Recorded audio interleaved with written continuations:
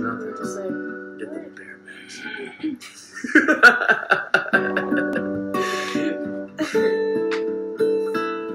a little intro.